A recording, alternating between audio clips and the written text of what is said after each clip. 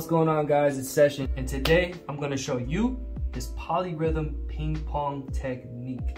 Okay, so that technique is actually utilizing the 3 over 2 polyrhythm. What's a polyrhythm? It's basically two rhythms within one rhythm. Let's take a listen to how it sounds without utilizing that ping pong method.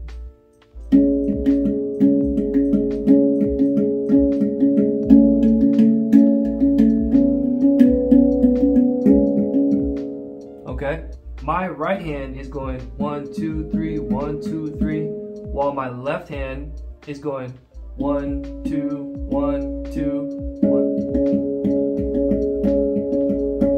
All right, so I'm gonna tell you a secret on how to get this polyrhythm down quick.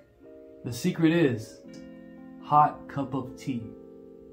That's right, hot cup of tea. And what that looks like is hot cup of tea.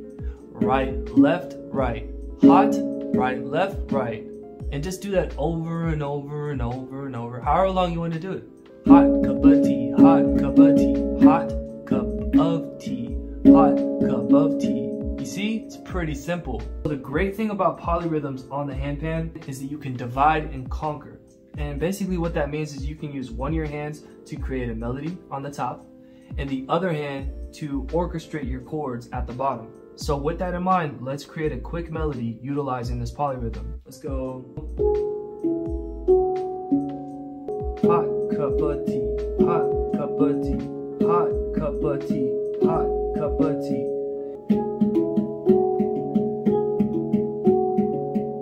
Hot cup of tea, that's one. Hot cup of tea, that's two. And remember, if you get confused, just come back down here and go hot, right, left, right. Hot, right, left, right hot, right, left, right, hot cup of tea. And you're doing the same thing with whatever you want to create up here.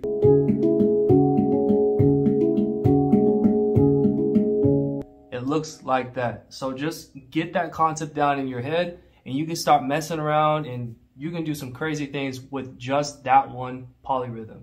It doesn't have to be so robotic either. It's hot cup of tea, hot cup of tea, hot cup of tea. You can add rhythm to your hot cup of tea. What do I mean? You can go hot cup of tea, hot cup of tea, which is pretty boring, bland, or you can add your own rhythm to your hot cup of tea. Hot cup of tea, hot cup of tea, And you can start messing with the word hot cup of tea, and as long as it sounds right, that's your cup of tea. Make it how you want. All right, so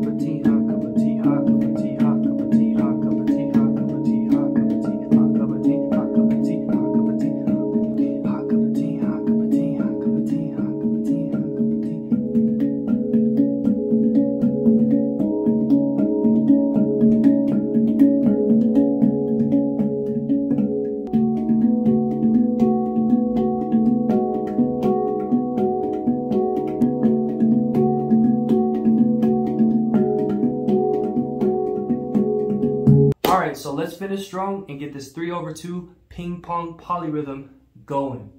Okay, so you're just gonna start on the ding, hot cup of tea, hot cup of tea. Okay, so once you get that hot cup of tea off the ding, you're gonna go down to a bass note and you're going to do the same thing. Hot cup of tea, hot cup of tea, hot cup of tea, hot cup of tea. So the hand you're using for your chords or your bass is going like this okay? And the other hand is basically creating some sort of melody. And in this case, it's this ping pong feeling, right? So we're going hot, right, left, right, back to the ding. Hot, right, left, right, hot, right, left, right, hot, right, left, right. You're gonna go off the ding, hot cup of tea, then you're gonna go off your chord note, hot cup of tea, okay? So you're gonna go hot cup of tea, hot cup of tea, hot cup of tea, hot cup of tea. See how we ended down here?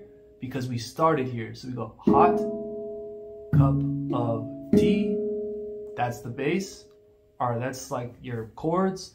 And then you also have the ding. Hot cup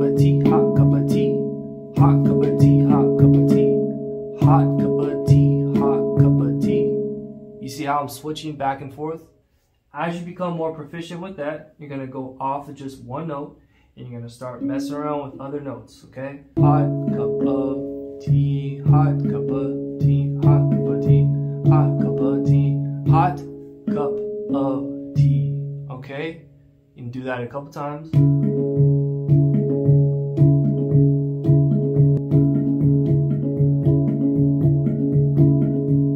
Okay, so to continue, you're going to go hot cup of tea off the ding, and you're going to do the same thing, but on that bass chord note.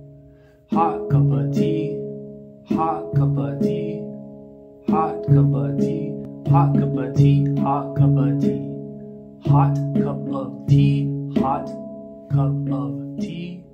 Okay, see I'm switching it back and forth. Just watch this over and over if you need to. But that is the structure and form to this polyrhythm 3 over 2 technique. All right, so once you get that structure and form down, keep this here and try to go down and up, okay?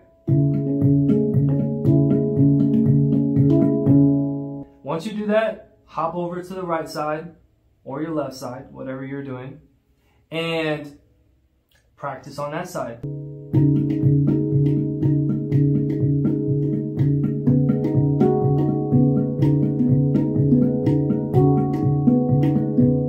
Okay?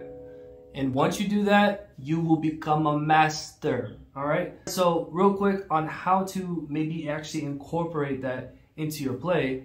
If you watched my last video, you'll see that I showed you a little bit of this. All right? I also showed you? So this actually works very well with this ping pong technique of the 3 over 2 polyrhythm. Let me show you.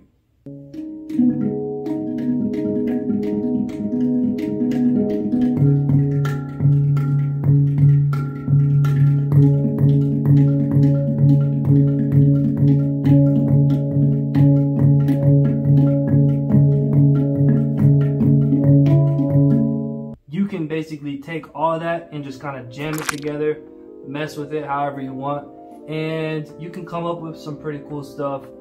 I would say that this technique was used more when the handpan first came out. Definitely Hang Massive has used this technique in a lot of their songs.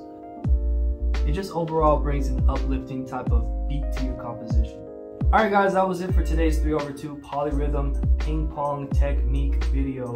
If you enjoyed it, please give me a thumbs up. Maybe consider subscribing to my channel. Go check out my Instagram as well. If you have a technique that you want to learn that I possibly know how to do, shoot me a DM and I will most definitely make a video just for you.